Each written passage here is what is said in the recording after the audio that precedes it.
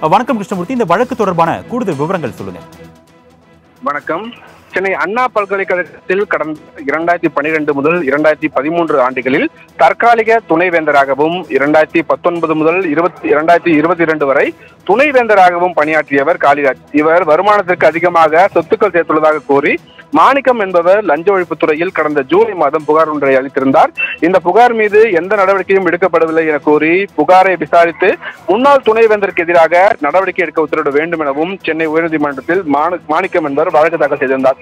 இந்த வழக்கு நீதிபதி சேஷாயி முன்பாக விசாரணைக்கு வந்தபோது மனுதாரரின் புகார் குறித்து ஆரம்பகட்ட விசாரணை நடத்தப்பட்டு வருவதாகவும் விசாரணை முடிந்த பிறகு நடவடிக்கை எடுக்கப்படும் எனவும் லஞ்ச ஒழிப்புத்துறை தரப்பில் தெரிவிக்கப்பட்டிருந்தது. இதை ஏற்றுக்கொண்ட நீதிபதி சேஷசாயி ஆறு மாதங்களில் ஆரம்பகட்ட விசாரணையை முடிக்க வேண்டும் என லஞ்ச ஒழிப்புத்துறைக்கு உத்தரவிட்டு இந்த வழக்கையும் முடித்து வைத்திருக்கிறார் அருணேஷ். கூடுதல் விவரங்களுக்கு நன்றி கிருஷ்ணமூர்த்தி.